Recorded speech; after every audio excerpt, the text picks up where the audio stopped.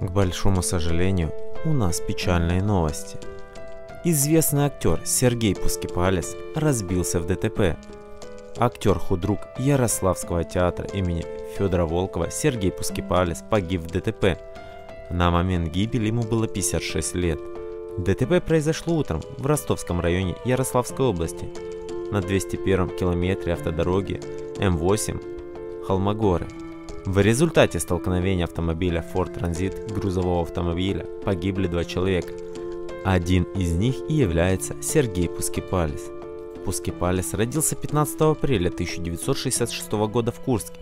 В 2001 году в Москве он окончил режиссерский факультет Рати ГИТИСа по курсу профессора Петра Наумовича Фоменко. Пускипалис работал режиссером в Самарском театре «Понедельник», был главным режиссером Магнитогорского драматического театра имени Пушкина и режиссером-постановщиком Московского театра Олега Табакова.